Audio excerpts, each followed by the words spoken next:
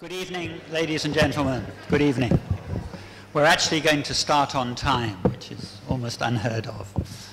Um, thank you very much for coming, all of you. Um, Professor Barend Terwiel has been one of the leading international scholars on Siam, Thailand, Thai, Thai, Ahom, whatever, over the past generation. He has an extraordinary record of books, of articles, of lectures, of teaching, and everything else. His main career was in the University of Hamburg, from where he retired a few years ago. And like uh, several who uh, retire in this way, he's been even busier since retiring. He has also discovered, I think to his dismay, that he missed his real vocation in life. He should not have been an academic. He should have been a detective. He came a couple of years ago and gave us a wonderful detective account of, about the wonderful cosmology, the, the Traiphum manuscripts from the Taksin era, era. This time he has come back with both a revelation and uh, a detective story. Uh, a couple of us last year were privileged to see the first glimpse of this uh, extraordinary couple of documents which he is going to show us tonight. And I think we both just the jaw dropped to see that this extraordinary graphical document from, from 300 years ago has still existed in this wonderful condition. So I, leave, I will leave it at that. Uh, please welcome Bas, Professor Barend Terwiel. Thank you.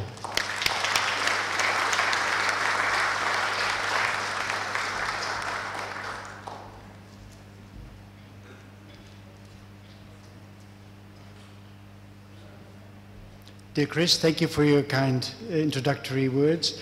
I, am always afraid I cannot uh, fulfill all those lovely um, expectations that Chris raises, but I'll do my best. I'll straight away, I'll straight away move with um, trying out this machine that I have here in my hand. Yes, it works. It was just about one year ago that I got an email uh, contact from a museum in Dresden asking me for my opinion on two scrolls that they have discovered. Um, the museum in Dresden is um, making a catalogue of chinoiserie, of Chinese art objects made for the European market. And there is a big collection of um, objects that were made for, for, the, for the European market that was collected by August um, the Strong, king of Saxony and king of Poland and of Lithuania as well. Um, very wealthy man, and he sent his agents around uh, Europe to collect whatever they knew he liked. The, the, many, many of those treasures were kept during the Second World War in, in, in places where no bombs could destroy them, and luckily they survived. Much of his treasures survived. The buildings had to be partly rebuilt, and now they're filling up those newly rebuilt buildings with the collections. And so they're looking at this collection of chinoiserie, and they found a container this high, round, and they opened it and they found there was rolled up three, two scrolls and a document. This is the, what I call the black and white scroll. And you can see the length 3 meters 70 and the height 50 centimeters. That means what you are going to see, there is a document that is maybe a bit longer than that. It was rolled out for me on a table uh, when I because the first thing I did after I saw the email is I took a train ticket to Dresden because uh, I, what I saw was, was a stunning thing. This was the first thing. The second scroll is an amazing scroll, is a colored version, shorter, and um, you can see the right part looks a little bit attached as, a, as if part of it has been detached and the right part has been put on again. Um, if I go back, you see it's similar, but it is also very dissimilar. And so what I did is uh, I looked at it and I looked at the document that was with it. Um, first thing I noticed is that on this black and white scroll, there are 16 or 15 or 16 items that are written out underneath or above the objects that are shown. And you'll see that uh, there is, for example, an a mythical animal, and there's written in European script what sort of an animal it is. So you see here a rhinoceros, rhinoc rhinoceros is written down. And here you see a, a lion, and there's an, another type of lion. Often it is written in Thai as a European writes it. Interesting enough, for the eagle, they write in tree. Well, that is how you write it in Thai. But the modern, modern Thais pronounce it in si. But I have the feeling, and you'll see some reason why, that in tree was pronounced in tree in the time that these documents were made. Now, we'll see parts of it in detail later. Here is the document, the beginning of the document that was with it, and that really um, was a very interesting clue. I have translated the title, Annotation concerning the place where the king of Siam, so there I was, I was in Siam, who was cremated, uh, was cremated, who had assumed the name of and I've made it in blue so that you, so that, so that you will notice it. Pra Trong Tan. Look at the peculiar ending of the word. That means God of wisdom. You're here as a Dutchman, he doesn't understand Thai very much. Often. It doesn't mean God of wisdom. But pra is something high, and Song Tam in modern Thai uh, means devout. Devout. And then I added that, who died on February 5th and cremated on the 26th of December in the year 1704. Now, that really is exciting. There was a king who did die on February the 5th of the year before. So in 1703, a king of Thailand died, and that was King Phetracha. And so I was straight away pretty sure that the document, that the pictures we have seen have something to do with the cremation of King Phetracha.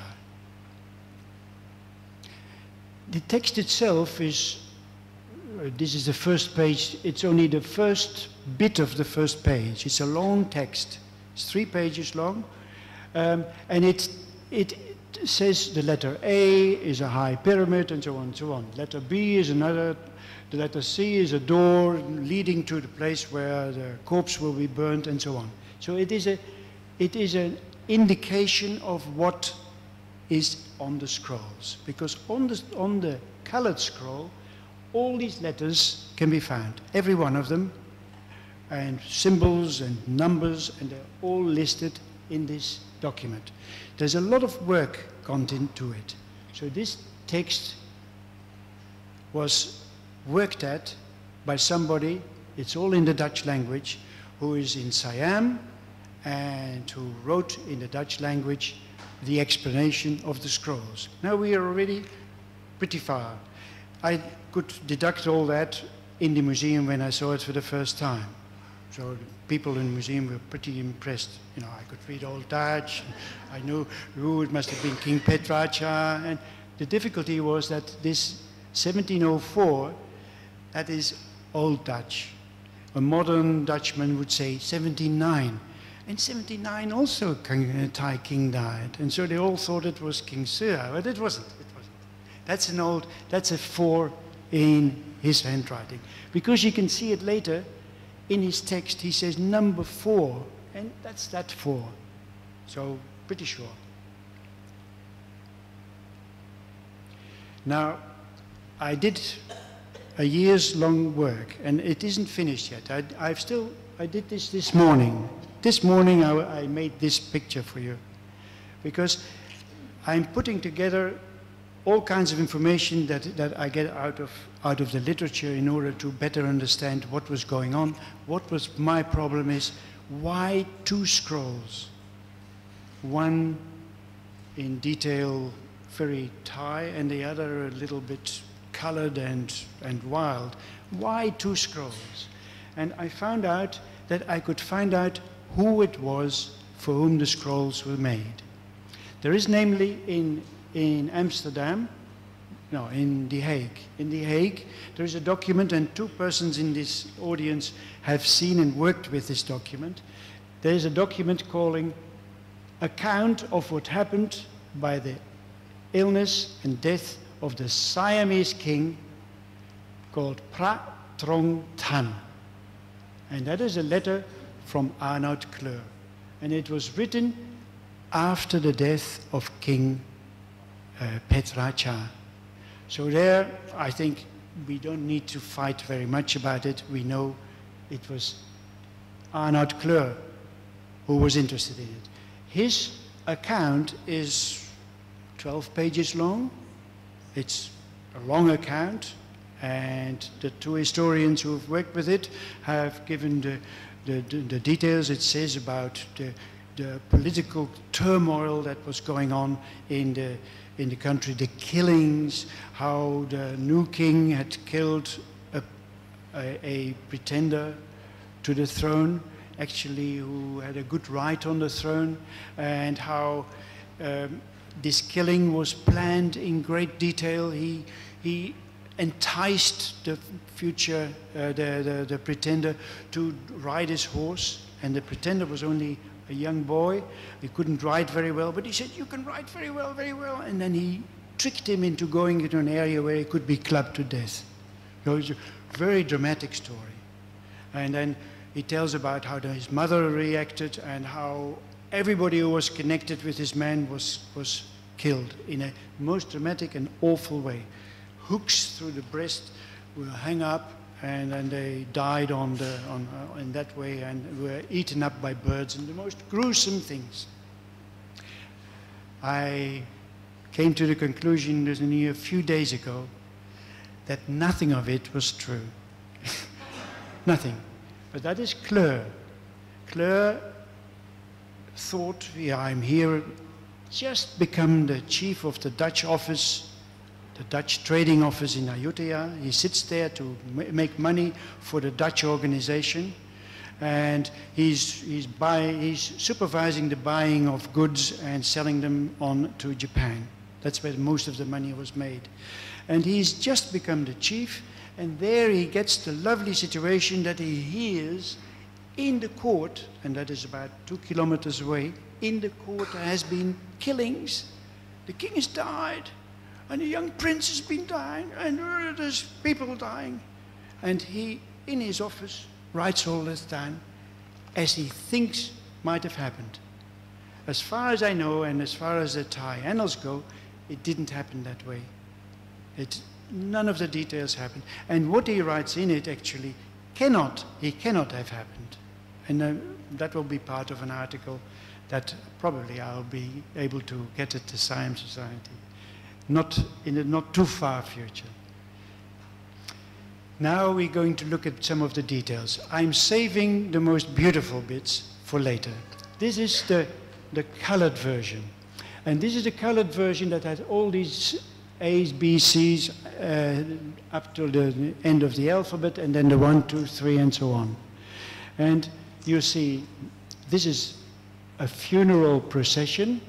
Here is the urn of the king being pulled by horses and uh, somebody riding on the horse with a, with a red halo. And here we see eight mythical animals on sledges, each with three courtiers carrying uh, formal umbrellas. These are firework towers, and these are small uh, places to make theater. This is to entertain the public that goes on for seven days and seven nights when the king is being cremated.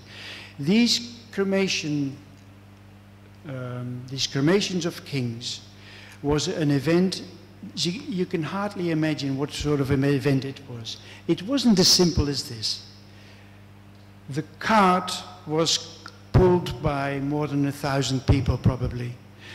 Behind it were another 200 to break it if it goes out of control. There were soldiers, there were wailing women, there were, there were hundreds of courtiers, there were hundreds of Buddhist priests, there were all kinds of things going on. Seven days, seven nights. And the, this movement from the, with about 50 animals, 50 mythical animals on sledges being pulled towards a magical tower that they have built, a tower of immense proportion. We'll, we will see one in a minute.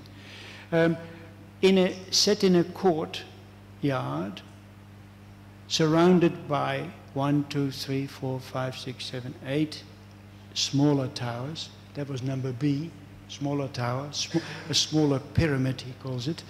Here's the, here's the central one, here's a smaller one. So this is number A in his list. Um, a golden tower, and there's the door, the doorway, number C. If you look with a, with a magnifying glass, you'll see the small number C. So here we get familiar with what Kleur's colored version is. The differences with the non-colored version will become more apparent now. the words in red indicates items that we not found in the colored one. So this is there. There is a Mount Meru. A little different from the Dutch, as you imagine. Looks a bit different, but it is inspired by it. There's no doubt about it. There's both a central pyramid. Um, here's a forecourt. That is a, a new item that we haven't seen. the number of mythical animals is one more, but they are only being pulled by two courtiers my opening picture is two of those courtiers pulling. You know, the, the one that you've been looking at when you were breathlessly waiting for this talk. Um, so the sets of two. The, the, the, the houses look where the uh, Buddhist monks are sitting. Oh no, this is where the theater performances are being made. Look quite different from the ones that I had. There are three chariots here, which are not in the colored scroll. But they have, in the colored scroll, uh, we'll see uh, also a different way in which the urn is being, the, the dead king is being pulled. And we'll see that there is a kneeling person raising his hands towards the, the urn in which the body of the king has been waiting for 22 months to be cremated in the tower. So this is the, the, the scroll that I found most impressive because the style is different, the details conform to my mind much more with Thai culture than the other one does. So in a way, the chinoiserie is the colored version. This is not a chinoiserie. This is, a, this is something made by a Thai. The other one, I don't think it's being made, made by a Thai. I, I compare for you a few items. Here you see, you see the formal umbrellas, a detail from the edge of the mountain in the Thai, in the Thai version. And here you see how the Dutchman or some foreigner in the, in, in the place where it came, how he changed, but it was still, still was very much influenced. It's a copy, but it's not a real copy. If you, if you look at the number of layers in the umbrella, you'll see that often it's an even number in the Dutch one. It's never an even number in the Taiwan. The Thais do not make a formal umbrella in even numbers. It's a three umbrella, it's a five umbrella, it's a seven umbrella, depending on what object is being honored. This is the highest honor you can give an object. This Mount Meru is a special thing. It's taken months to build the open, open air stage for theater. This is the colored version. Not even the roof, I'd say, that's not a Thai roof. That is a roof, well, it, it bends, but like the Thais have a, have, a, have, a, have, an, have an item that goes up, but that is a different one from there. Um, I have a better uh, picture at the next one for this object. These are uh, Buddhist monks' uh, dwellings. Oh no, the, here they are. Um, this is in the, ups, back again. What's happening here? Here. Ah. You see that here is a kind of a formal seat in a sala, so it is protected from rain. Here is a formal seat drawn in perspective as it was drawn in the 17th century in Thailand. That's Thai perspective. So you can see it is a seat and it has depth to the side. Here, say with a front one. This is the, the version in color. Here is see a, a chair like we have chairs in Holland. This one, well, it's inspired, but this is a Thai roof. This is not a Thai roof. This is a kind of spiky, spiky thing. It's not Thai. So I'd say the indigenous roll, scroll was the inspiration for the foreign one. And so I've got the order of scrolls fixed in my mind. If you not, don't agree with it, and if you think that was the first one and that was made out of it, then I would like to know your arguments. I, I, I'm personally on firm ground as far as I know. You can read the text there. Here I've got a rare picture that was only published in 2015 by someone who is sitting here in the room. Um, this was the Meru, the tower, in which the, king, the second king of Thailand was burnt in 1866. It's one of the earliest photographs made in Bangkok and it is a treasure that shows us the, the smaller towers, it shows us the wall, and it shows us the central tower. It's a gigantic building. And they used, if you look in the Thai annals, in the 17th century, three times they tell how high this thing was. And at one time, it was 100 meters high. I mean, can you imagine? It was higher than any building in the whole of the, of the city. I think that was, the, that was the thing that was intended because it was intended to send the dead king up on top of Mount Meru, out of our world, right into the heavens. And so you need to have something bigger than, a, than, a, uh, than the, the, the, highest towers that, that ordinary humans make.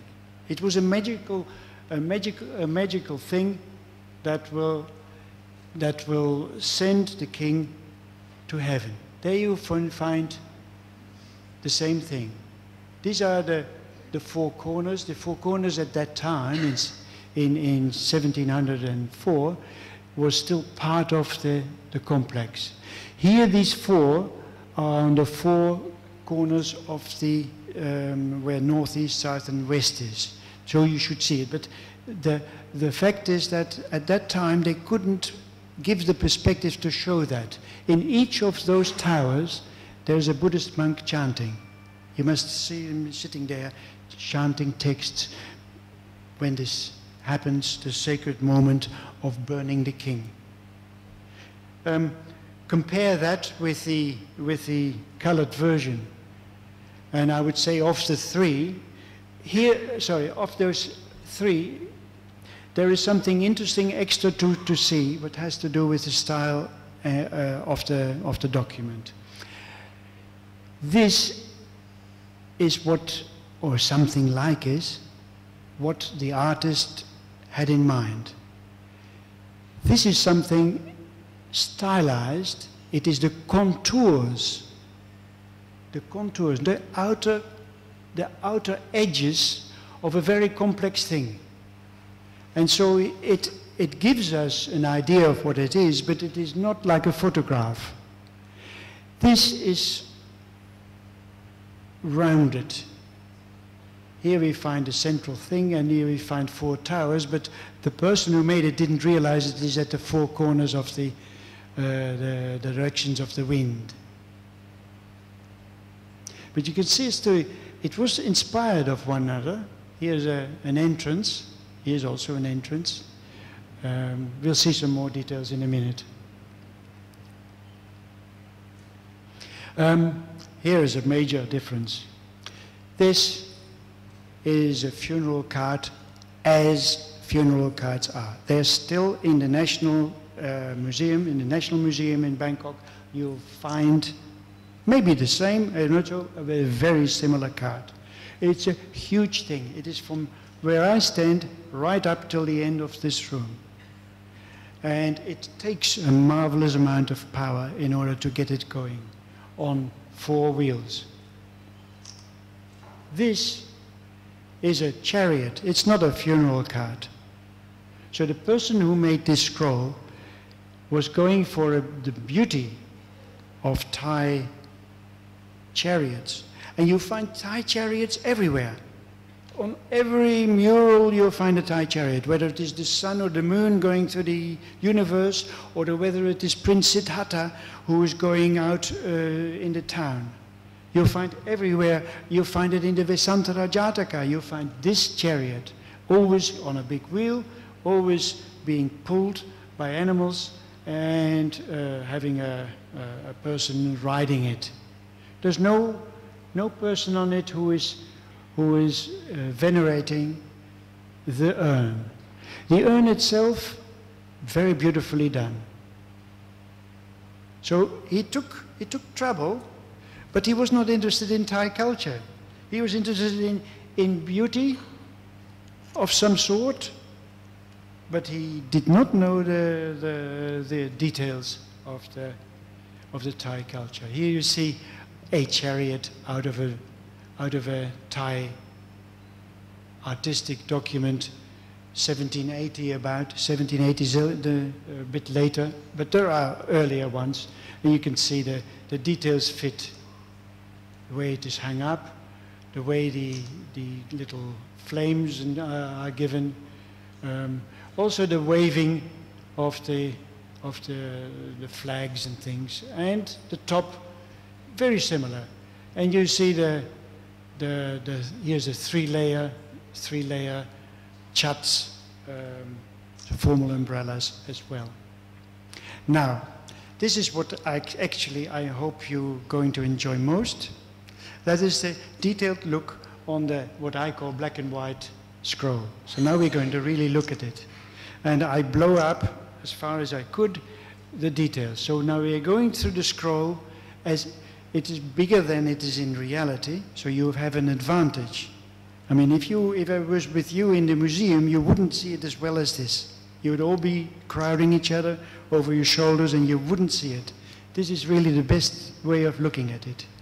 And we are going, we're beginning by the Meru, by the tower where the king will be burnt, and we'll end up with the end of the procession. So I hope you'll, you'll enjoy this. This is the first time in 300 years that Thai people have a chance to look at this document. It has been sitting in, a, in an air, airtight container for 300 years and nobody has ever looked at it, as far as I know. And so that is a, something uh, of, of, of great interest to you, I think. So we begin at the left. Here's a piece of the document as has broken off. Don't forget, it has been rolled up and out Eh, when on its way from Ayutthaya to Holland and from Holland to Dresden.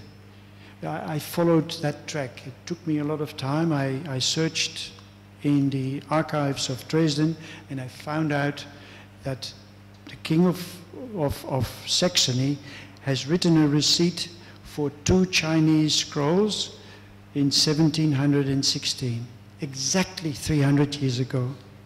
And he got them from, a, from the director of the Dutch East Indian Company in Amsterdam. And Cleur worked for the Dutch East Indian Company.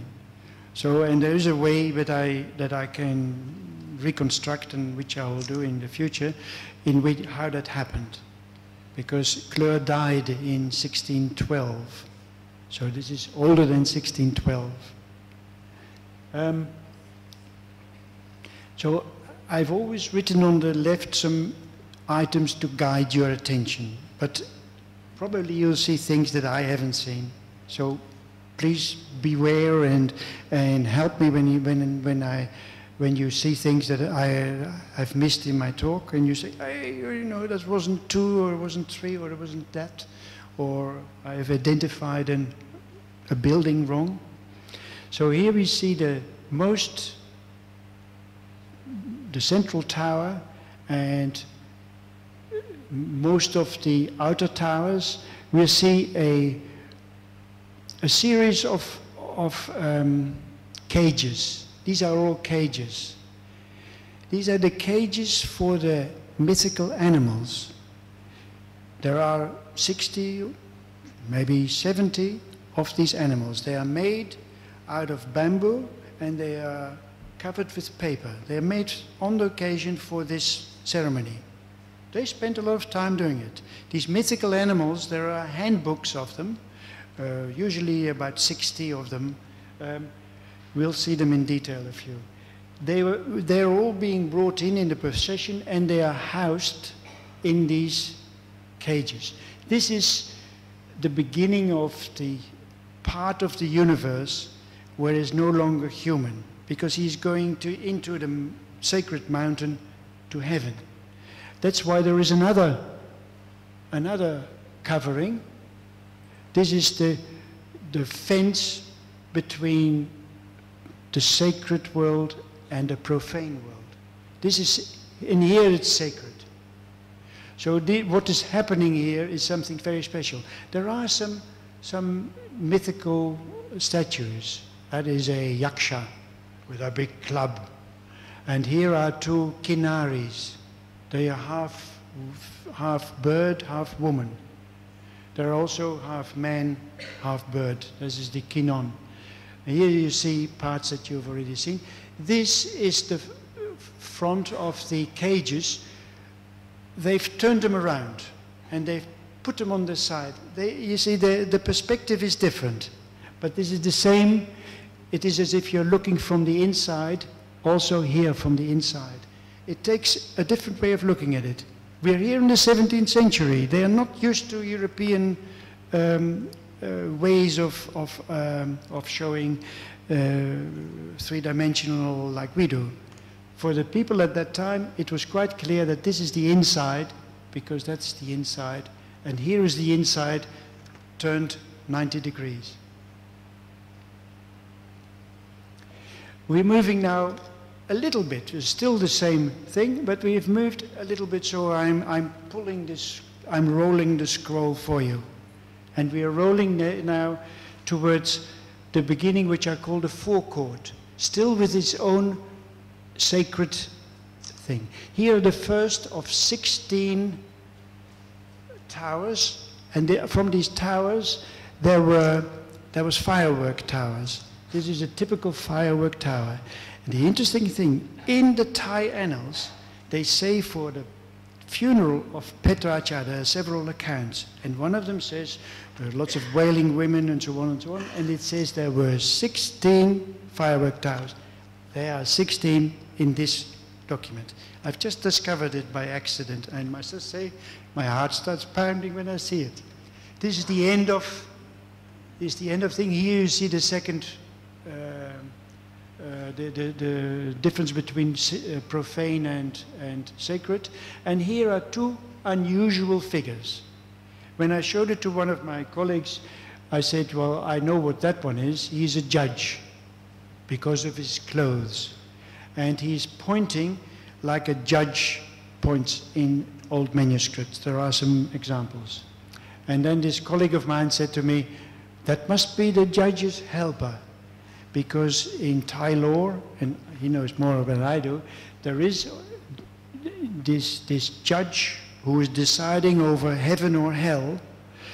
He has to have so many decisions to make, he needs help, and that's his helper.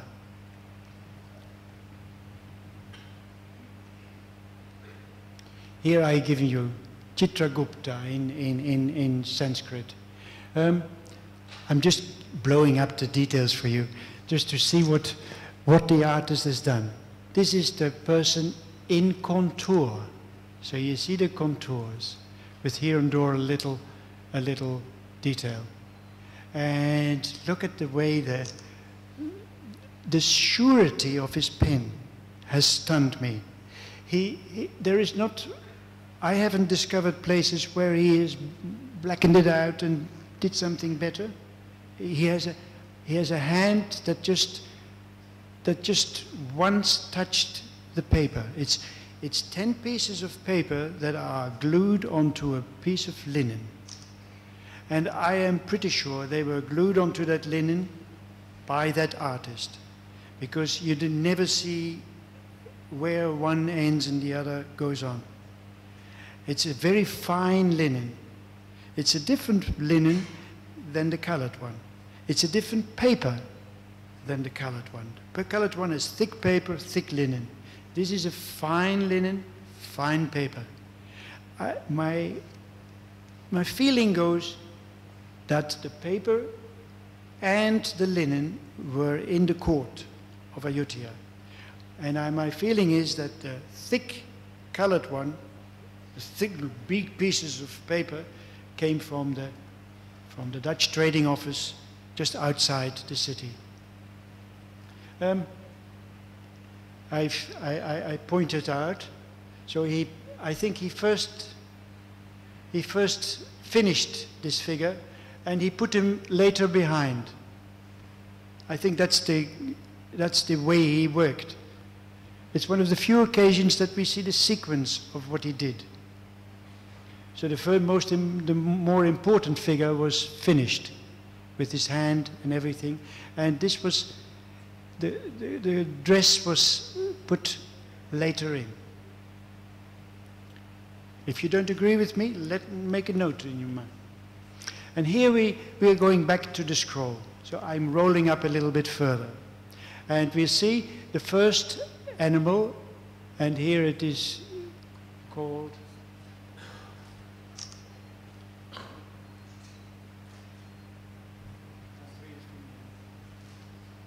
But I, I, I have it on my computer, you see it. But anyway, so two men, or the eagle, this is the in sea.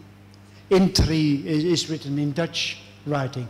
You can see what is interesting is that this is being written with great care. It's not a, a rough thing. So I think the Dutchman, there's Dutch writing, there are lots of Dutch words coming. The, he received this piece and he was explained things by a Thai. I would imagine by the, by the artist or the servant who brought it. And he says, this is an in tree, and that is what the Dutchman wrote down. Here we see the first of, of, the, of the acrobats, that we will see more. here I think is a is a uh, a wishing tree. I think it is. It is one of those mythical things in, in heaven where you can wish to have something you can pluck from it. I think it's a wishing tree. They're all males, these men. Eh? There's a, I see no females, but uh, if you see a female, warn me. Here we find a rhinoceros. This is written in Dutch, and also very carefully written in the middle. So I think when he received the, the, the scroll, it was for his purpose. He, he wrote it carefully in because it was the Dutch scroll by now. It was made for a Dutchman.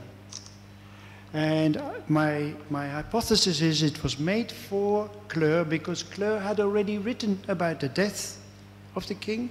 Now he can write about the funeral of the king. And I'm pretty sure he attended. And when you attend a thing like that, and you see crowds and crowds of people and thousands of people, how are you going to deal with it if you don't speak Thai? So he went to someone and said, could you draw the essentials? And the essentials were drawn. That's my hypothesis.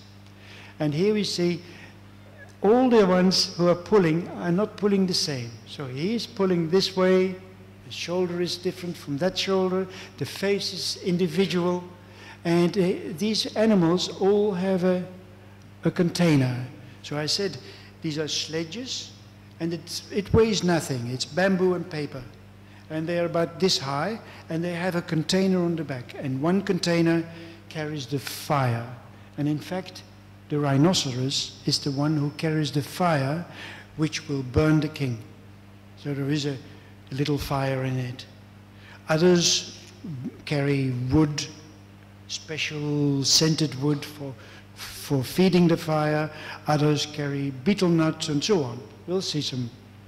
We'll see that the scenes underneath, uh, sorry, we're going to, the scenes underneath, the acrobats, um, and the fireworks, these are, these are more of the 16 fireworks, they show seven days of entertainment. Here are plays being given, and here's fireworks being given, here are entertainment. This is the entertainment section of the scroll. It is summarizing something seven days, seven nights, things happening. Here on top are the wishing trees, and I think these are monks' uh, dwellings. There are hundreds of monks. They all receive um, the cloth to dress themselves. It's a typical thing to make merit for the, for the deceased person. It happens in every major Thai funeral up to the day of the day. The, the, the, the mythical animals, they go through the, these are the real mythical animals as they were drawn in, in handbooks that you can now find in the National Library. I'll show you an example later. They're exactly how they are. That is, and they all have a different name. Some of them are in Sanskrit, some of them are in Dutch, translated. And, um, oh, I've got one here, the Kileen. This is the key. It's written down. No, this is key. And here we find, uh, I can't read it from here. We're moving on. Sledges with the Chinese lion, the royal lion, and to the right Kochasi, the lion with an elephant's trunk. All these animals are mixed animals. These are the animals that live in the in the foothills of, of, of the central mountain. Uh, the animals that we don't see because we can't travel that far. But this is, being, uh, this is a cosmic event that is being enacted.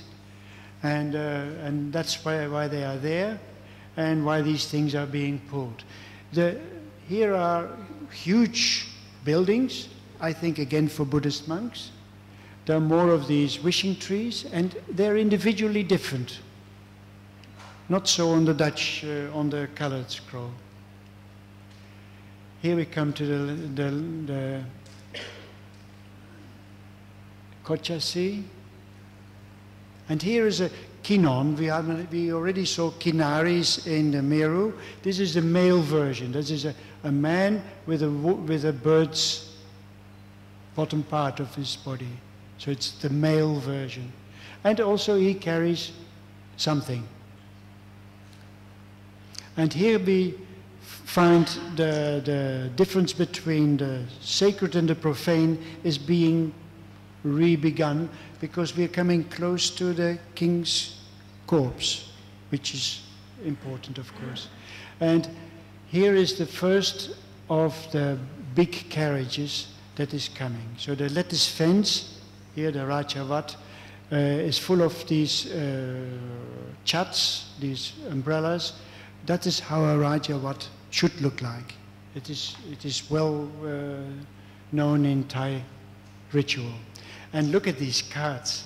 So th these, are, these are actually the chariot cards.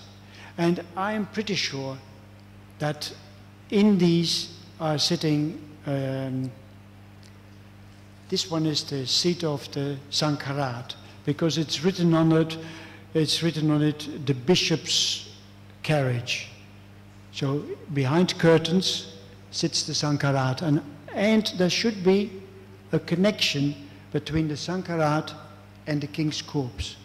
But the artist has left it out. But I'm 100% sure that there should be a, a, a strong cloth that connects the two.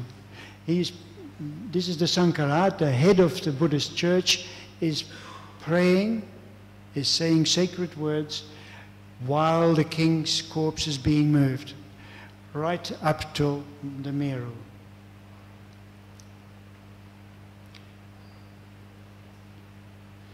So I, I put thing, uh, interesting things for you to read at the side, so you don't have to listen to me. You can just read it for yourself. So we we are almost there. Here we come to the, the third vehicle. Behind the curtains, that says it's the king's son, which must be, as far as I know, King Sir. King Sir is a, a Sorasak who uh, reached the throne 22 months earlier in a rather drastic way by killing his contenders. Uh, look at the perspective there.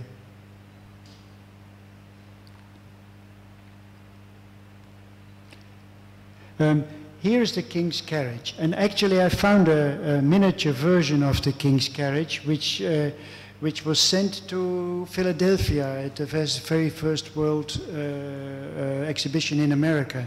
And King Chulalongkorn had this little miniature carriage made, and it is now in the Smithsonian in, in, in New York.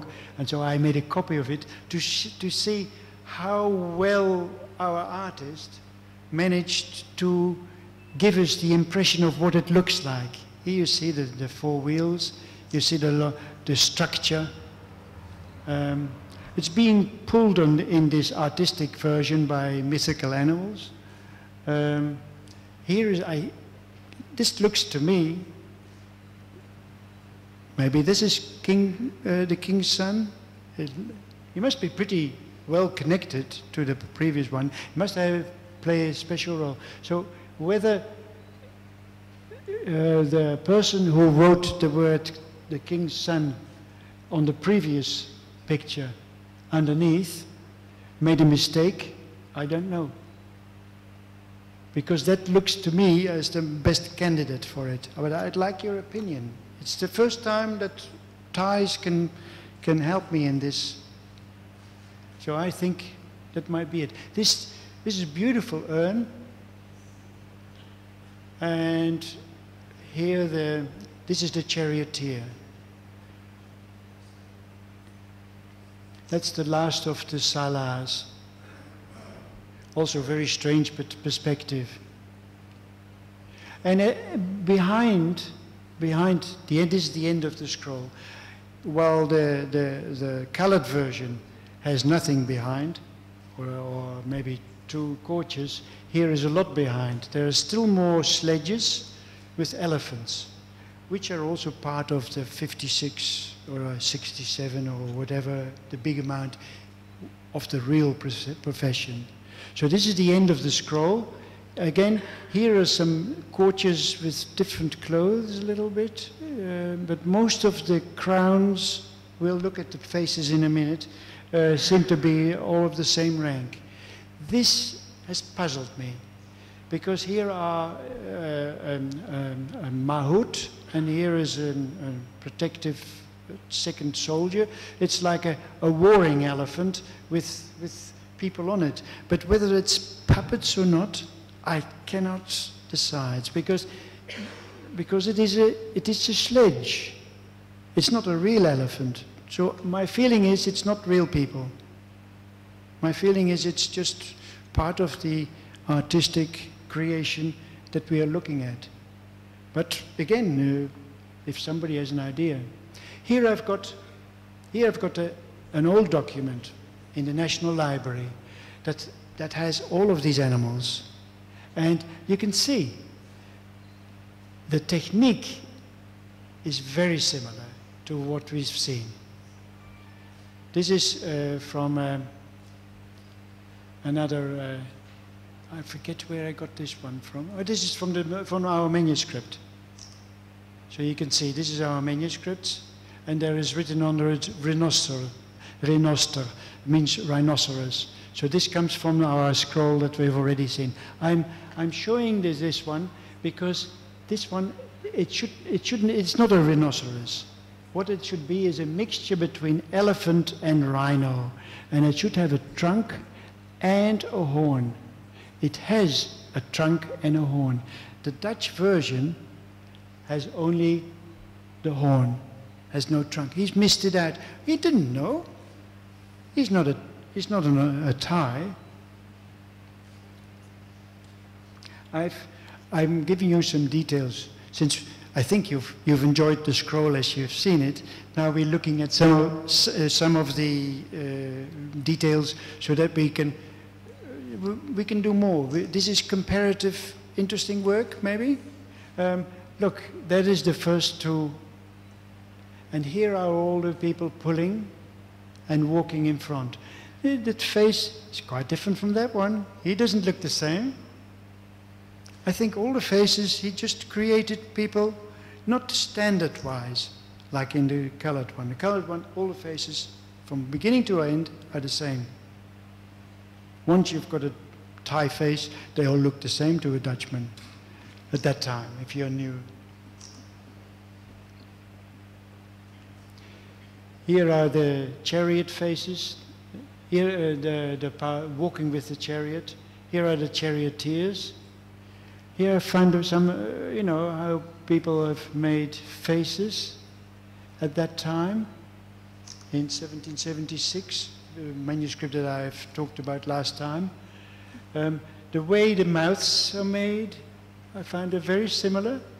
That is the Thai tradition, with a, with a nostril and lovely, the eyebrow going up, flying up a bit, that's, that's standard. With every eyebrow goes up. I have not looked at Thai faces that carefully, but I don't know where they get this flying eyebrow, eyebrows from. But it's, it is the, it's the, the tradition. It, it is a sign of that the document is genuinely 17th, uh, end of the 17th century, beginning of 18th century. Here we find, uh, I've got every human, apart from all the, the artists, uh, the, the, the, acrobats, I've got every human blown up uh, to show to a colleague in New York who wants to write an article on, on them. That's why I'm, I'm sharing it with you. He will be analyzing their dresses and style. Uh, he's an art historian of, of world renown who wants to be in and do something about it. So I call them puppets. But I, I'm not sure. You, you give me an opinion whether that is a puppet or not. That is in the second one. I find the hands are intriguing. but I'm not that good in elephant lore and so on, uh, whether it's real or whether it's not real. It's a conundrum for me. Here I find you headdresses. Um, we've seen that one uh, with the uh, judge and his helper Chitragupta. We see this type of, this type of uh, headdress all the time. And this is not hair, eh? this is not hair, this is part of the dress. And you'll see that also when, you, when, we, when we go back, you, you see this, this is not hair flying, that is part of the, the dress, as far as I know. Yeah. There's written on it, red elephant with betel nut in Dutch. Uh, that's what they told Cleur when he received it. That's what he wrote, white elephant with water. So the containers carried that after the, after the king's corpse. Um, I told you that I think that between the Sankarat and the urn, there must be a connection. Here is a drawing made in 1690 this is from the diary of Engelbert Kaempfer.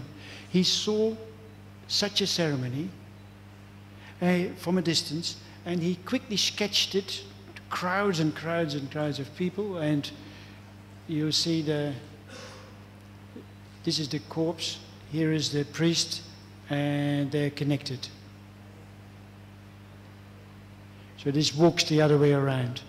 And this looks more like the towers that are being, I think he got something mixed up. But it is the only account I have from a European who from a distance sees a royal ceremony passing through Ayutthaya. The perspective I already talked to you about it, that they, that they have clicked, turned by um, almost 90 degrees the cages for the animals that's an entry cage, entry, entry, entry, entry. And here it is again, 18th century, early 18th century perspective. Here I've got the details so that you can see what they look like. These chairs, and this is also, I think, a formal chair. I'm not sure what they, that is a baldachin, that's quite clear. But the use of chairs in, in 1704 for Buddhist monks, I'm not sure about it. It looks very European to me. So there are some puzzles. Um, here are the fire, the towers from which firework comes. This is a 1930 reconstruction of, uh, of, of, a, of, a, mural. Um, but you can see what's going on. You know, here is a theater performance in between the firework towers and one of the artists, uh, one of the things. But the difference between murals and what is here is here is everything in, in contours. This is a real body. This is contours of a tower. This is a square tower. This has depth with real people. Um, I got from uh, my colleague uh, some pictures from Wat Here you see um, when they in murals, a crowd, one is behind the other. Here's three layers of them. One covers the other. But uh, here are all the hats from courtiers. We only saw them with two of ours. The, the dresses are, are very similar. I, I call the, the black and white scroll that has riveted my attention most. I, I, I, could go on with the Dutch one, but, but uh, the black and white one, I, I call it Siamese contour art. This was drawn by an artist, and very nicely. This was drawn by another artist. And you can see it's it is a teaching it, it tells what is what. And this also is a teaching thing to tell how to make the next one when the next royal funeral is. This is what it is, and those people should be connected with this one. So there are handbooks of how to, how to send the king off to heaven. And this is part of it. But what I was saying, the art is to presenting the essential outline in profile. That is an art in itself. And so you find a, a horse's hoof. It's not bad, but it's in, it's in outline only. And that is what I think is, if we're going to understand the, the big scroll that I've, I've pulled in front of your eyes, if we're going to understand that art, I think this is the, the, the clue with which we can appreciate it even more. Because now we understand why so much is not there. Never is there a place that overlaps another. So when the king's carriage is there, there's no, no, no, no courtier that, that is in between the, the person looking and the object. And that goes for everything that's on the, on the scroll. The only place that there's uh, something overlapping, we have noticed, are the feet of Yama and Chitragupta. They overlap. That's, that's a minimal thing because he had drawn into, oh God, there I am. And it looks clumsy because it's not intended in this type of art. This, this is a text that was made on demand. Cleur said, I want to publish on this ceremony. And he got this long scroll. Some explanations were given and they were very carefully written in. Cleur gets older and he looks at it and he doesn't understand Chitragupta. He doesn't like the chariot. He doesn't, he doesn't know what to do with it. And so he makes his own copy. And when he's finished it, he gets a specialist to explain every detail, hundreds of details, and he puts little numbers in it because he doesn't want to, to clutter up. It's for a publication. And the text that we've seen, the, the very first in the beginning, with number A, B, C, and it goes on and on and on, is the explanation of the colored one. The colored one is for a European public. He made it. The black and white one, that's the working copy. He has no admiration for Thai art. He likes bodies to be three-dimensional. he didn't. He didn't like the king's the king's uh, big clumsy thing, and so he takes the one from that was before and leaves them, leave all the others out. That I think is the explanation of the two scrolls as far as I've come after a year's work. But it's not the last word of it. But I've, I've set my say for as far as I can. So that's, uh, you know, I, I hope you'll, you'll let me know what you think of it, because I've been thinking, what will the Thais think of this?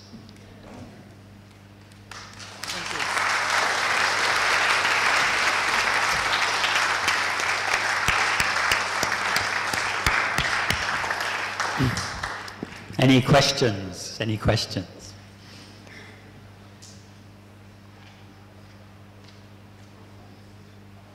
Any questions or comments on this?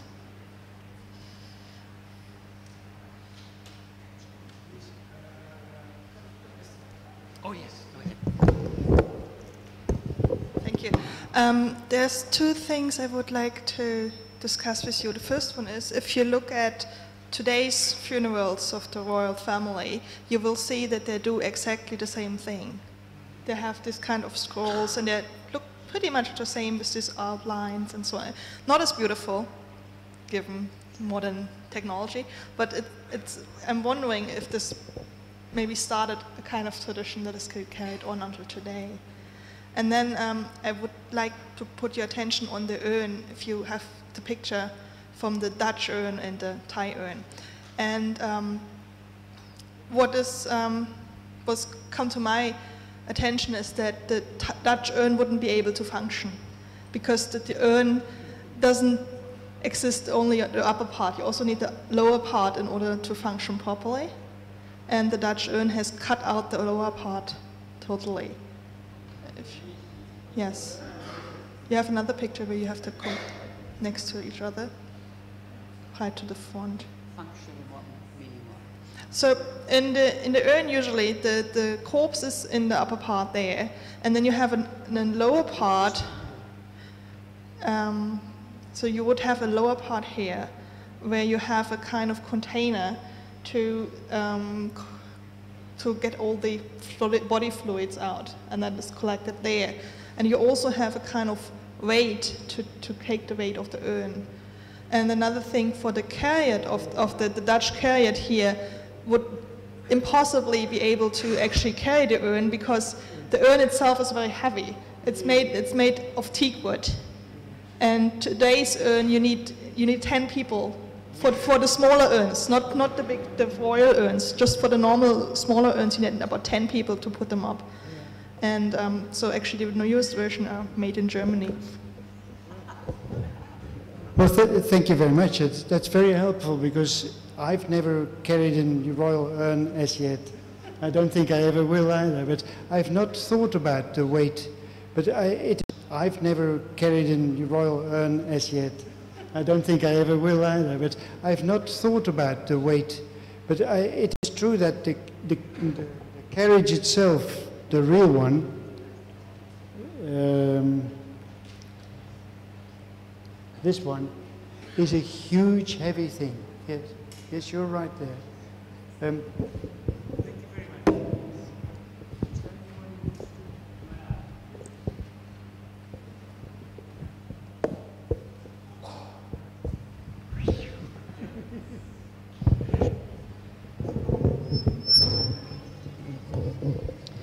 Um, could it be a chance that the two elephants are actually real elephants, but there was a fumble on the part of the artist, as in he started to draw the sledge and then realized that there, um, it wasn't supposed to draw, but might as well just finish off the whole thing. Yeah, the two elephants at the back. Yeah, it could it be possible that they were actually real elephants, but then when the artist was began to draw it, he like started drawing the, like the sledge like with, like the previous animals, and then like realized, oh, never mind. Um, the the Dutch guy can't tell the difference.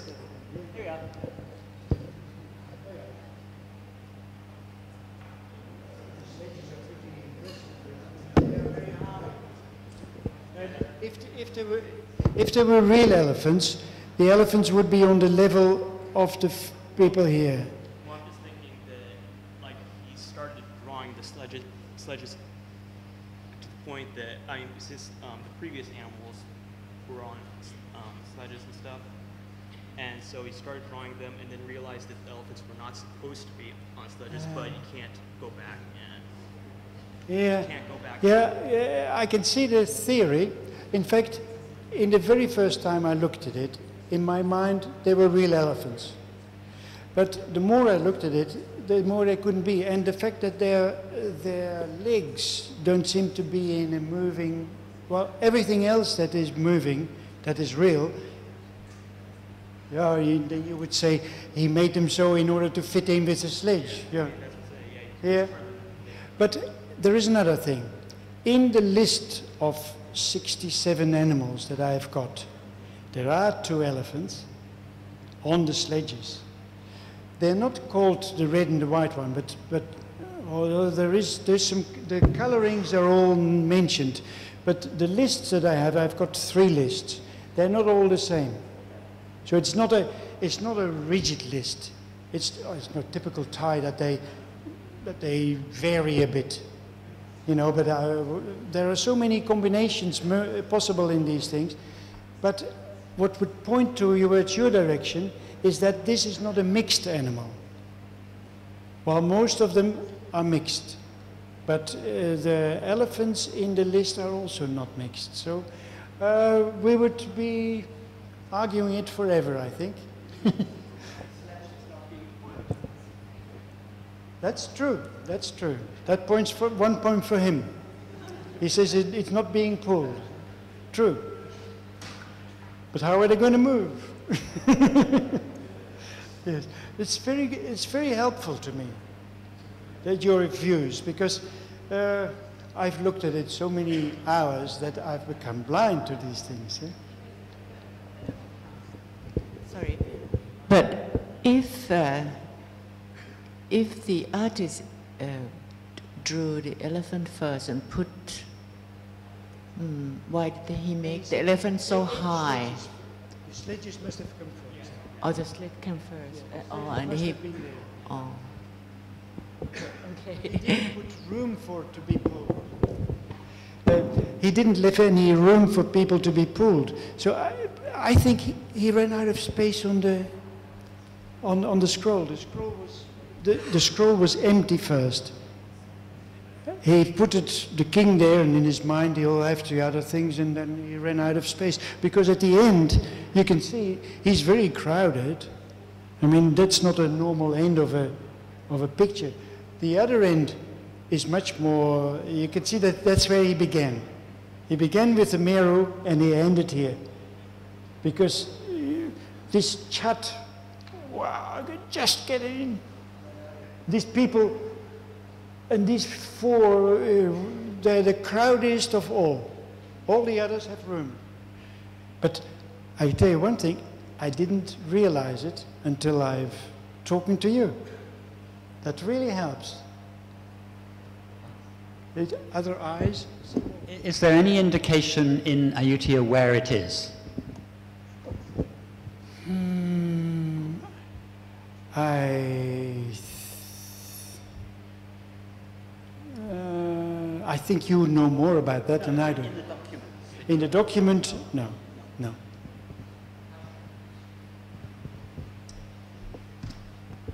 Thank, thanks for a really fascinating talk.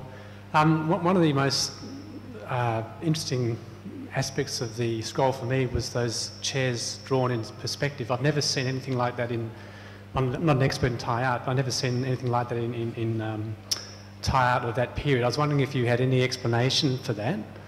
Um, it's interesting. It's only that those chairs really are a kind of a, a marginal feature of the whole uh, scroll. And is it perhaps something you know the artist trying to show off that they know how to draw a European style perspective, or is there some other explanation? The, the, the, the con- contacts uh, between Europeans and Thais were very intensive right throughout the 17th century. So we cannot say they've never seen a chair.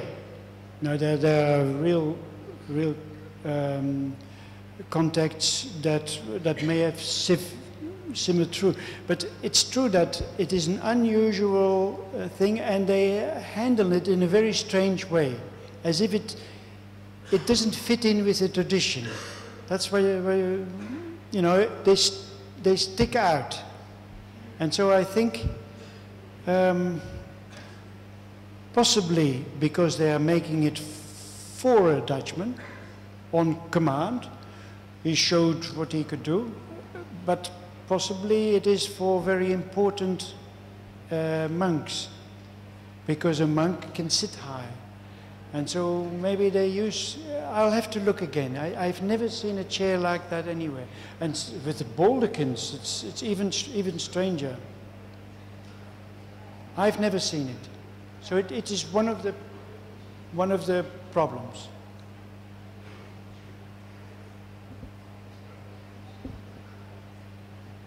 But that's, that's a good, good comment.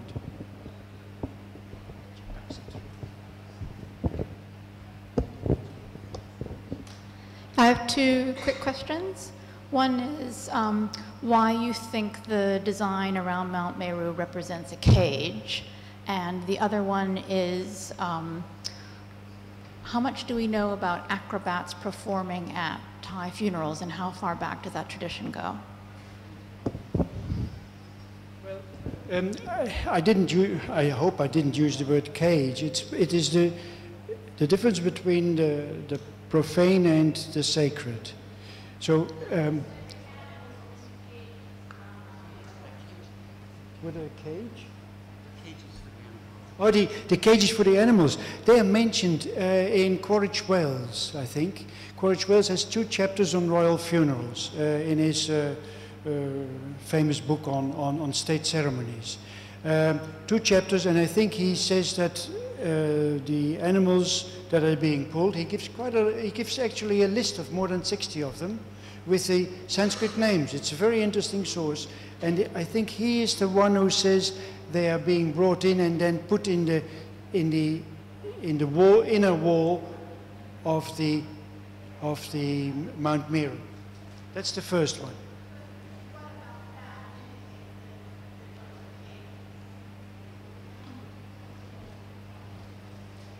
You press the middle, the middle between the green. Are you talking about this? Yeah. So what about that indicates that it's a cage? It's a typical, that's a typical, that's a typical. It's a typical Hindu pattern as well, as far as. So, so you, you, you think it's not a cage at all?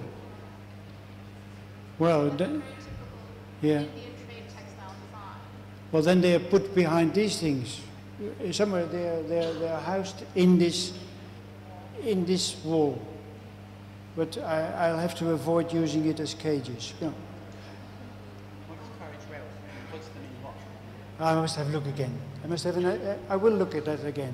And the second question was about the, acrobats. They, are- they are um, standard in every royal uh, funeral procession that is being shown.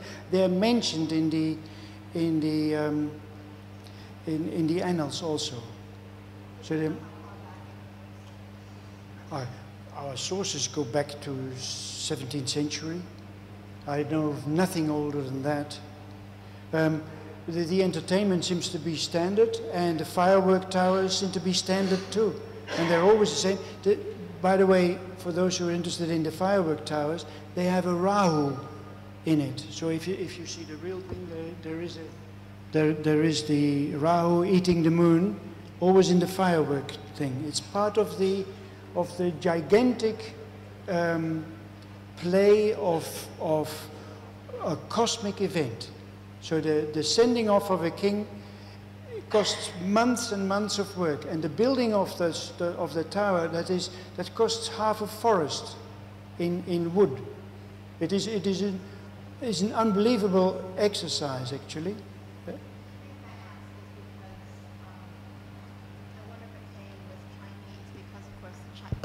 The Chinese have a very long tradition of acrobats at funerals, going back to the Han Dynasty. So I was just wondering if this is some connection with the Chinese funerary traditions. Yes, well, here I am really uh, at very thin ice because, of course, the Chinese uh, sources are thousand times more uh, bigger and more informative than the Thai sources. We have only got um, a hundred inscriptions, and then we started this time with documents uh, uh, that have survived. So, if there is a link between the Chinese ones and so on, it may not be very old. It may be from the 16th century. See, Thai court traditions are a mixture of Cambodian, Indian, and whatever, whatever came into them. And the links with China are as old as the, as the annals go. So I know the, there's a regular there's a regular trade between both, and there's a regular visit to the to the courts. So from the 13th century, Thais visited the courts of uh, of China, but the Thais didn't. This type of thing is their their own agglomeration of their of what they have learned. Mainly Cambodian, mainly Cambodian with other influences. And the Cambodian is Indian in its essence.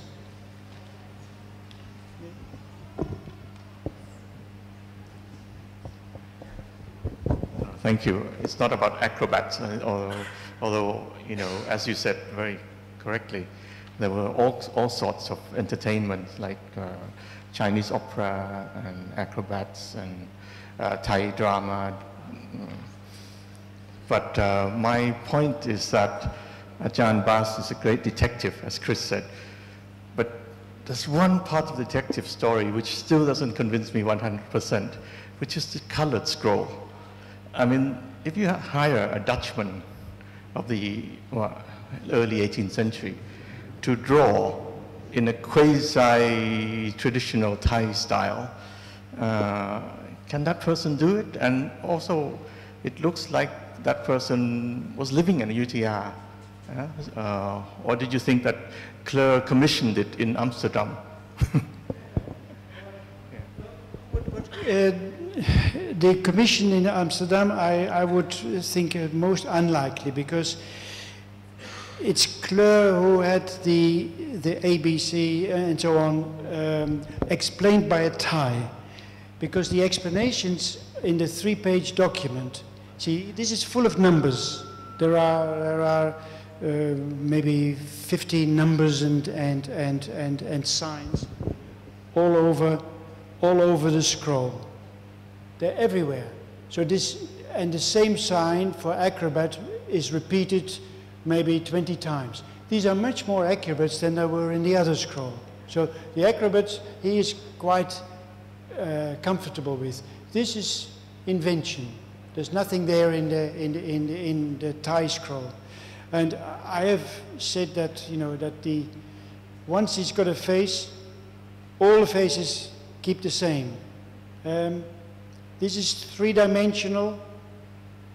Um, I cannot see it being commissioned in Amsterdam. I cannot see it. Because the links between the two scrolls are obvious in there. These are the essential bits that he, that the author of the list wants to, to show. That's why it takes a lot of trouble, get all that information from a Thai. What it is called, what it is used for, what happens with the ash of the king, it's all written in it. So it's a very interesting document by itself. But I have to reserve it for the museum to publish it. Um, and the link between the explanatory document and this scroll is, is absolutely certain. There's no way you can shake that. And the fact that a Dutchman also used the bigger scroll as his own property is because he wrote in Dutch 16 times what it was, but not the real nitty gritty. So I, I, I see the sequence black and white to, to colored as fixed, that they are made locally in Siam is for me absolutely sure. I, will I, I think I can convince you when I give you all the details. I think so. But it's, it, I like to be challenged on it, but I cannot accept that one. Uh, I know the situation in Amsterdam. There was nobody in Amsterdam that knew what that happened to the ashes of the king when it is raked out. yeah.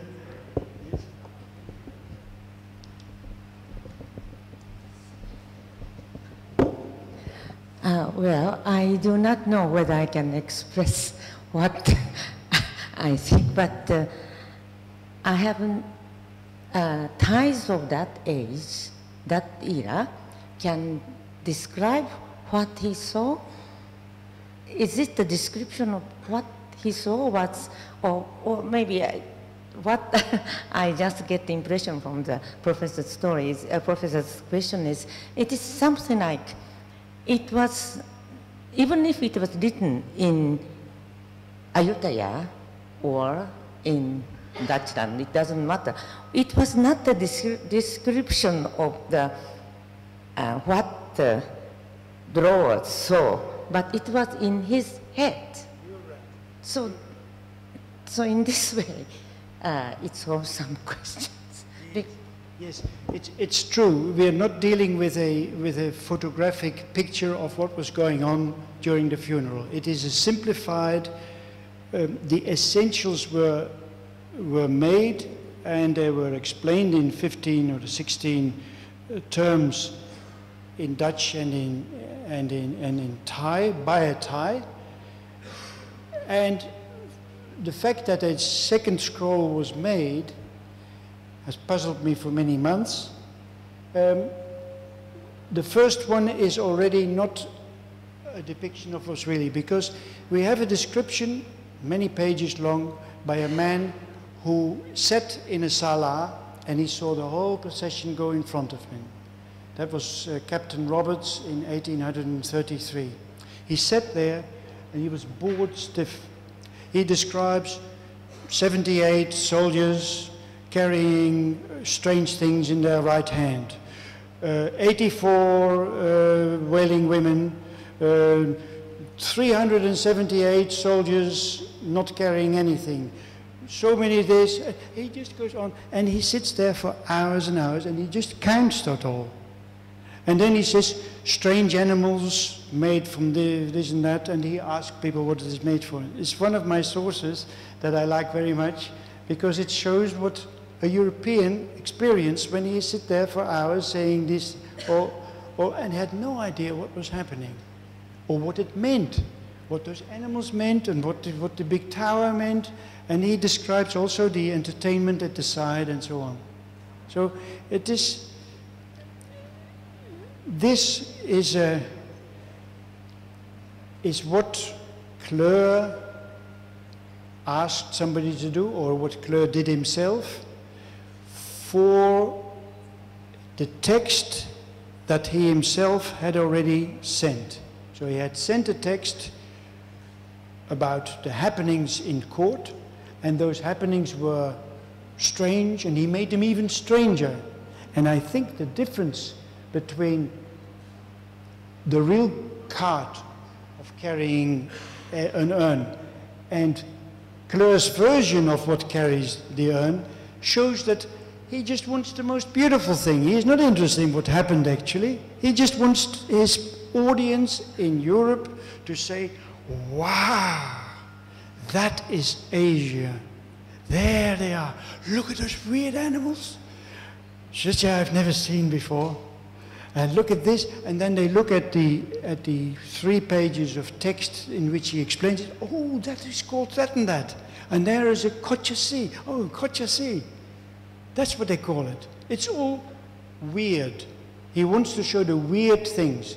I've looked at many of travel accounts, and they're looking for the, the strange things, especially the Dutch. The Dutch were all against these papist rituals devilish things that going on, um, idols that are going, bow for, horrible things. And those Dutchmen, they come and go. There have been hundreds of Dutchmen who spent their time in Ayutthaya and who never learned a thing. And I think Cleur is one of them. This man knew very little. He knew very little, but he has a nose to make something for the people at home. And so, you know, he managed something. I must say, when I saw the two scrolls for the first time, I first looked at the colored one because I love a colored scroll. The black and white was not so interesting. That's the first reaction, I think, of anyone if you see the two scrolls. Your eyes go, ah, colors. That's and it's many colors too. There's, there's, there's, there's all hues. He spent a lot of time at that. And the, the coloring in is being done perfectly. It's fascinating, and I have a question about all the materials. What's the paper? Is it Dutch? Is it Thai? There's no native linen, so linen would have had to be imported. Otherwise, it would be cotton. Is it the same pen? What kind of ink? Um, is analysis being done?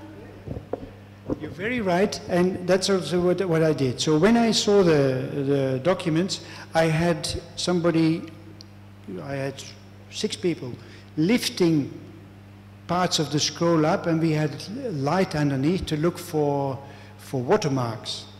We found watermarks only on the three pages of text which, which was written by Cleur. The three pages of text has a watermark, typical Dutch thing with a, with a crown and Amsterdam, the weapon of Amsterdam, a typical of his time. So, you know, it just gave me pleasure to see that that was a 17th century piece of paper. The, the material was uh, the, the curator of the museum said to me, we have a paper person and we'll send samples to be microscopically looked at. Um, I said to her, the same as, as you now, now say, there is no indigenous fine linen in, in, in Thailand. But there was a fantastic import and export. And so we'll try and find out where it came from. But the fact that an artist at the Utian court could get a piece of linen is not, is not absurd.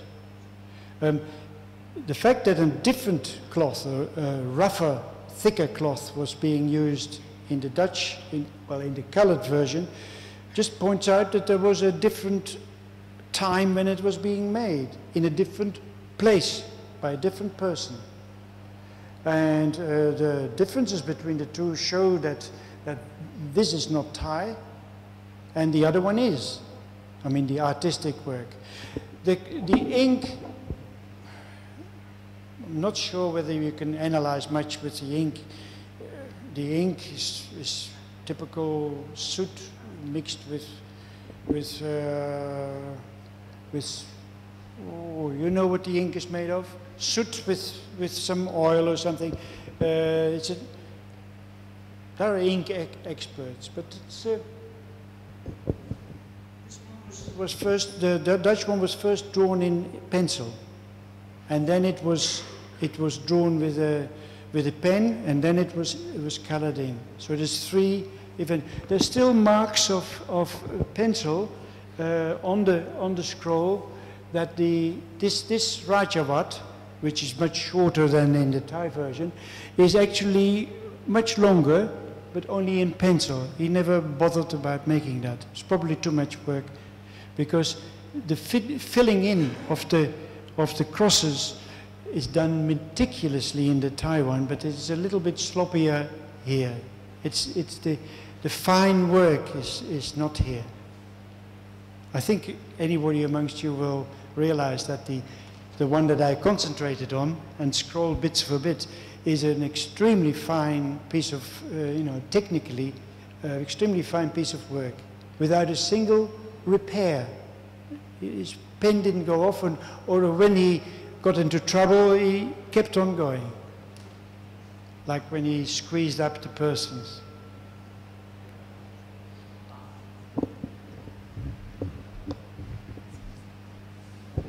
Um, thank you very much for doing this. This is wonderful.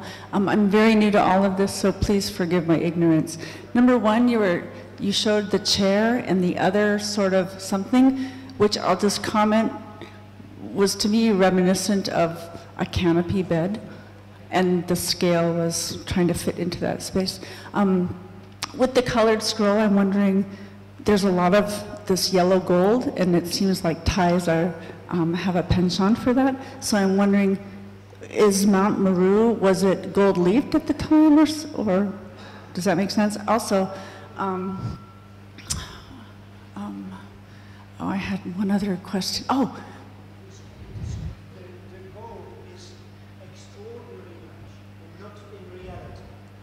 So it wasn't gold leafed or gilded or anything like that? That is, is, is Dutch fantasy. Okay, all right. I didn't know. Okay, and then um, I don't, I'm wondering how recently have they done this ornate, multi day sort of funeral in Thailand? When's the most recent time? I, I just find it exquisite and hard to imagine. The oldest one that I know of is in the 1620s, I think uh, where they describe the height of the Meru, but they do not, see that is for an indigenous, uh, indigenous people. And it, sort of thing been done most recently? Most recently, I, th uh, I think they stopped it in the, in the, after the 30s. Uh, they stopped it, I think about before the Second World War. I think they stopped this sort of thing. It's extremely expensive. It costs massive amounts of wood. Uh, um, so Roberts, I know, and the one that uh, I showed for the Phra Pinklao is uh, 1866. It was still done. The best source for this is uh, Quaritch Wales again. He, he gives the last, I think he attended one. Wales actually noted that um, King Rama V had made kind of will and said that his funeral should be um, not, not abandoned, but should be cost effective. Yes, you're very knowledgeable. Yes, so, so Wales does mention the end of it. Hmm?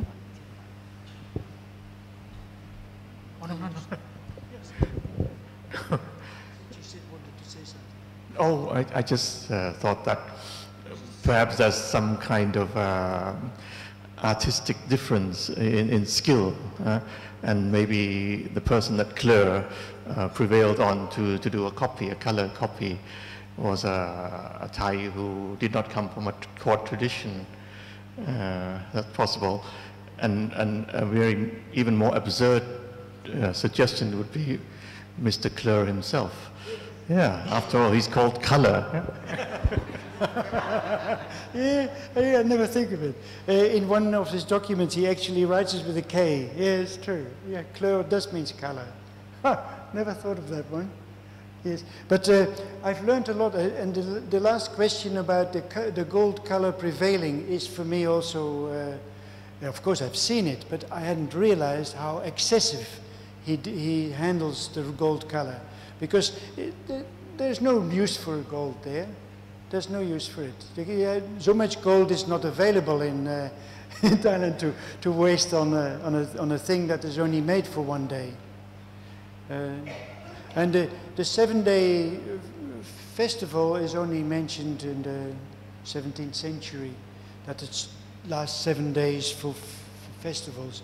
But uh, I think the, the most interesting description for analyzing the, the ritual is Quaritch Wales in state ceremonies, but the most interesting um, uh, personal account of it is Captain Roberts. Uh, you'll be amazed when you find it. And you can see this bored American sitting there and thinking, what am I doing here? Another, another group of 700 soldiers. Oh, God, you know. it's wonderful to read. Yes. I wonder if we have been able to find out more about the transfer from Holland to Saxonia, uh, how it was found, and uh, perhaps how much was paid for it before it ended up in King August's collection. So um, this is an interesting story. I, I, I, spent a lot of time in the archives in Saxony, and uh, that is microfilm work, and it is terrible for your eyes. And you have a limited amount of hours. And I worked through his expenses. So I know exactly how much he spends every year on what and so on. And I looked for every bit of his collector's mania. He, uh, he wrote in for the expenses where he got his things from and from whom. There is a count, an uh, Italian count, who worked for him as a general in his private army. And this count got in financial troubles. I think he must have gambled or something. And he went, he was a sort of diplomat count, and he went around collecting for August the Strong by his being, being a count and a general and uh, directly access to King uh, August. Uh, he got access to the important houses in, in Europe. And he bought for him curtains and and, and uh, teppich, teppich, what is teppich? Carpets and, and, and furniture, and he sent it massive wise to Dresden, where it was all duly accounted for and the bill was with it. You know, for so many things, so many hundreds thalers, and for that and that, so many gold, this and that. These went for 200 pieces of gold, I think, these two scrolls in their container. Um, I only found the receipt in the last five minutes of access that I had. Uh, it was, it was quite something.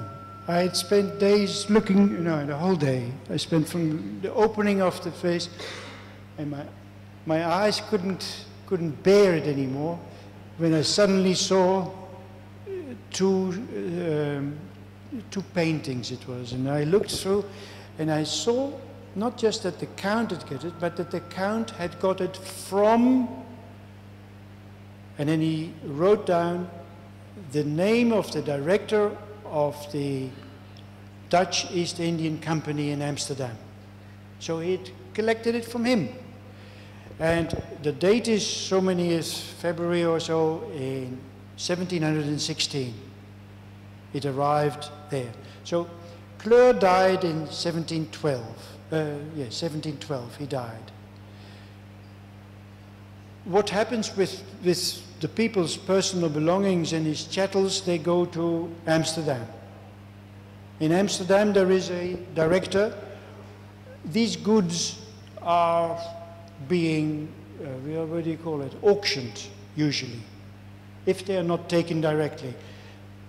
I have no account, I looked for them, I have no way that I see he auctioned it or he took it. I don't know, but the link between the, the scrolls arriving in Amsterdam and ending in, in the possession of one of the directors of the same company, well, I haven't been able to get any further as yet. But if you can, I, I, I think there's no reason not to believe that that uh, the Van der Bemten, that's the name of the director, that he got by it quite legitimately. Nobody would know what it was. But it is a useless thing to have. You cannot display such a thing in your own sitting room. And so he, he when he met his, his friend, the general who was collecting for him, he said, what about your chief? Can't we, you take 50 and I take 150 and off with it?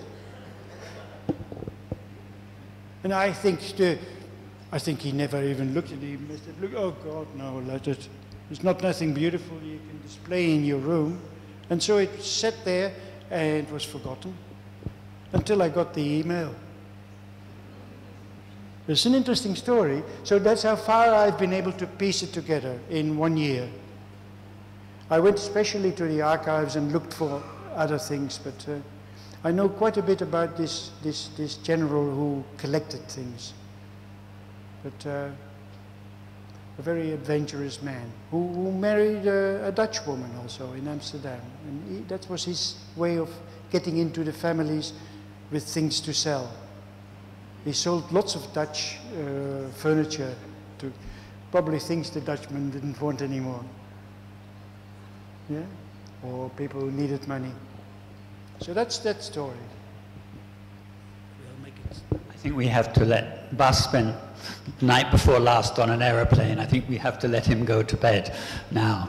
Uh, we hope we will have this in the next Journal of the Siam Society. We hope, including the scroll. We hope.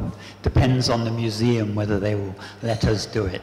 Please join me in thanking Professor Terwiel for a fabulous